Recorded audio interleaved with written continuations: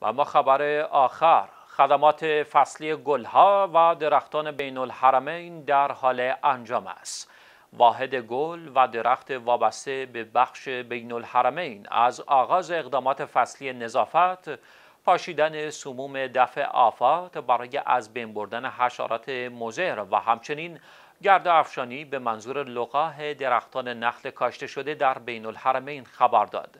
حاتم عبدالکریم مسئول این واحد با اعلام خبر گفت این اقدامات از نیمه آخر ماه زمستان در یک عملیات واحد و در یک موعد مشخص برای افزایش کیفیت نخلها آغاز گشته و بر اساس برنامه لقاه پیگیری می شود.